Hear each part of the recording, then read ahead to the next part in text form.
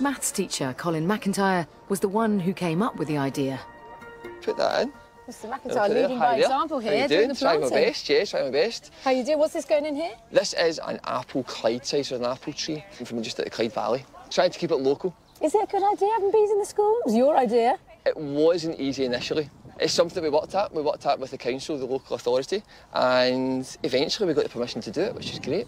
We're really looking forward to it, and all the, all the pupils are really excited about the arrival of the bees. But you're, you're roping in all the departments of the school. Are, It's yep. not just so science, home economics, maths for pattern work, looking at honeycombs and seeing where patterns are in, in the sort of natural world.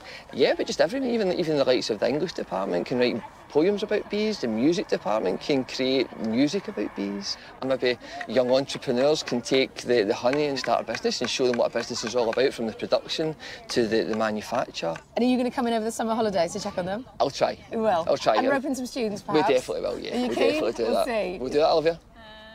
Uh, Might take a bit of persuading. Yeah.